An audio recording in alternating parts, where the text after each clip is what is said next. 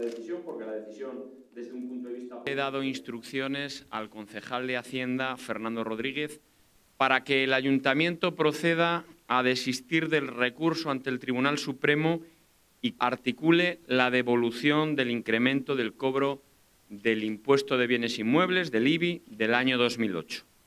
En los próximos días tendré yo la ocasión de hablar personalmente con el portavoz del Grupo Socialista, a quien ya he informado esta misma mañana de esta decisión, para que se articule la decisión de cómo devolver eh, este dinero en función de la tesorería municipal.